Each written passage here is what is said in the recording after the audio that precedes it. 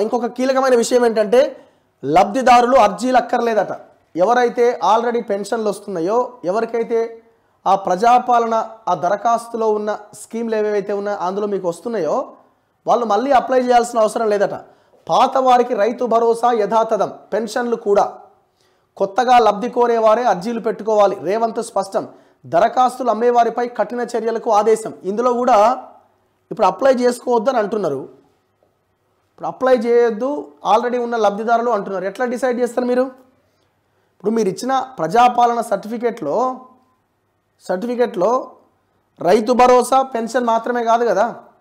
మహాలక్ష్మి పథకం అని పెట్టారు కదా? మరి ఆ కుటుంబ సభ్యులో ఆ కుటుంబ సభ్యుల దాంట్లో మహిళ ఉంటుంది కదా?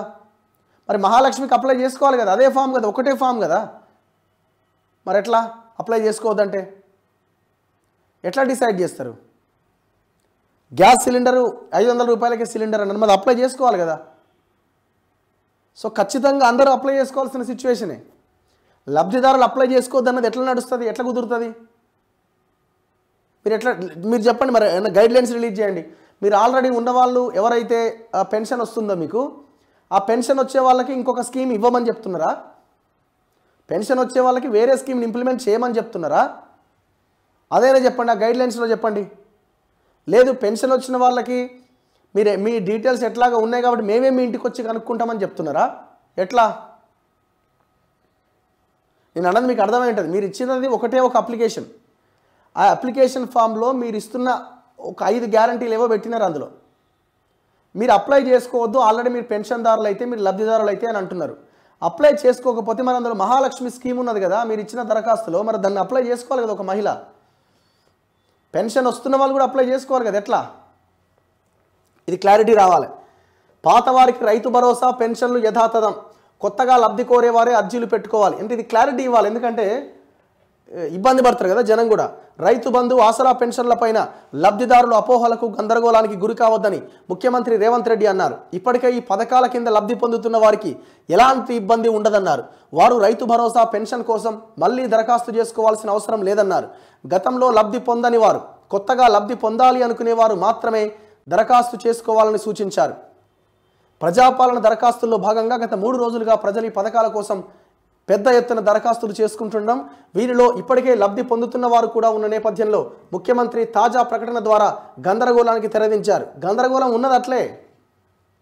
స్టిల్ కంటిన్యూ అవుతున్నది. శనివారం సచివాలయంలో ప్రభుత్వ ప్రధాన కార్యదర్శి శాంతికుమారి సీఎం ముఖ్య కార్యదర్శితో రేవంత్ రెడ్డి సమీక్ష నిర్వహించారు. ప్రజాపాలన దరఖాస్తుల సరళి క్షేత్రస్థాయిలో పరిస్థితులపైన అధికారులను అడిగి తెలుసుకున్నారు. ఇప్పటివరకు జరిగిన గ్రామ సభలు దరఖాస్తుల వివరాలు ప్రజల నుంచి దరఖాస్తులు స్వీకరిస్తున్న విధానం ప్రజల నుంచి వస్తున్న స్పందనపైన ఆరా తీశారు. ఈ సందర్భంగా సీఎం మాట్లాడుతూ ఇది పీడిఎఫ్ ఉందా? రాష్ట్ర ప్రభుత్వం ప్రతిష్టాత్మకంగా చేపట్టిన ప్రజాపాలన కార్యక్రమంలో చిన్న పొరపాటు కూడా తావు లేకుండా జాగ్రత్తలు తీసుకోవాలని ఆదేశించారు. ప్రజాపాలన దరఖాస్తు ఫారాలను కొన్ని చోట్ల విక్రయిస్తుండడంపై ఆగ్రహం వ్యక్తం చేశారు. దరఖాస్తుదారు దరఖాస్తులను అమ్మేవారిపైన కఠిన చర్యలు తీసుకోవాలని కలెక్టర్లను ఆదేశించారు. దరఖాస్తుదారులకు అవసరమైనన్ని ఫారాలను అందుబాటులో ఉంచాలన్నారు. ఎక్కడా దరఖాస్తుల కొరత రాకుండా చూసుకోవాలని దరఖాస్తుదారులకు ఇబ్బందులు తలెత్తకుండా జాగ్రత్తలు తీసుకోవాలని అన్నారు. ఇంకొక కీలకమైన విషయం ఏంటంటే మీరు గైడ్ లైన్స్ని రూపొందించలే. మీరు ఏమంటున్నారు అప్లై చేసిన తర్వాత గైడ్ లైన్స్ అంటున్నారు. ఇప్పుడు గైడ్ లైన్స్ కనుక ముందే మీరు రూపొందిస్తే ఎవరైతే ఆ గైడ్ లైన్స్ ప్రకారంగా అనర్హులు ఉంటారో వాళ్ళు అప్లై చేసుకోరు కదా. ఇప్పుడు ఇంత రద్దీ కూడా తగ్గుతుంది కదా. గత ప్రభుత్వం ఏమన్నది? గవర్నమెంట్ ఉద్యోగం చేస్తున్న పిల్లలైతే వాళ్ళ తల్లిదండ్రులకు లేవు అన్నది. ఇప్పుడు వాళ్ళందరూ అప్లై చేస్తారు. మరి మీరు మీ గైడ్లైన్స్లో అది ఒకవేళ పెట్టిన అనుకుందాం. మరి ఒకవేళ అది పెడితే మరి అప్లై చేసి ఏం లాభం?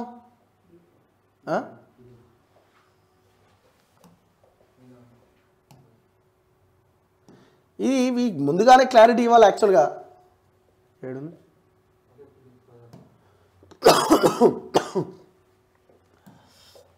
ఓ ఇప్పుడు నేను అంటున్నది ఏంటంటే లబ్ధిదారుల లబ్ధిదారులు ఆల్రెడీ ఉన్న వాళ్ళు అప్లై చేసుకోవాల్సిన అవసరం లేదంటున్నారు.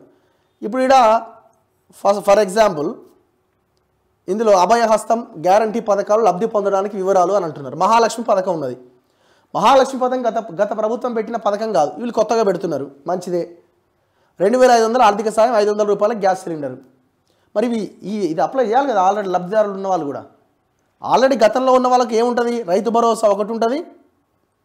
మహా మ- దాంతోపాటు పెన్షన్ ఒకటి ఉన్నది. మరి రెండు ఈ రెండు కాకుండా మీరు గృహజ్యోతి అని అంటున్నారు. రెండు వందల యూనిట్లు. మరి ఇది ఇది అప్లై చేసుకోవాలిగా?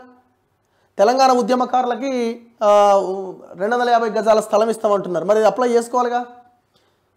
ఇందిరమ్మ ఇల్లు అంటున్నారు. అర్హులైన వాళ్ళకి ఇందిరమ్మ ఇల్లు. ఇది అప్లై చేసుకోవాలిగా? అదే అదే గందరగోళం. ఆల్రెడీ ఉన్న వాళ్ళు అప్లై చేసుకోవద్దని మరి ఇవి ఎట్లా? ఇది ఒకటి రెండోది ఎవరు అప్లై చేసుకోవాలా?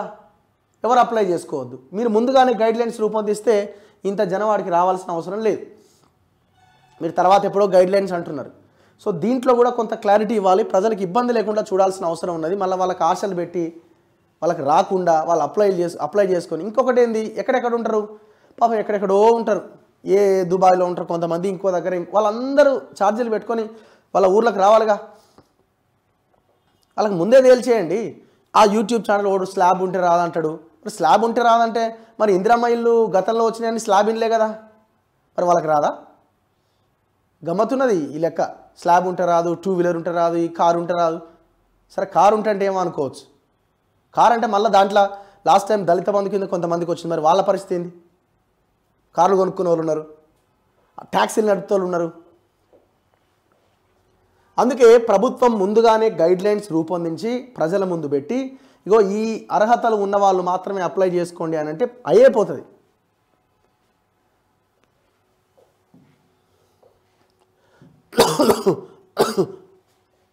సో ఈ క్లారిటీ ఇవ్వాల్సిన అవసరం ఉంది ప్రభుత్వం.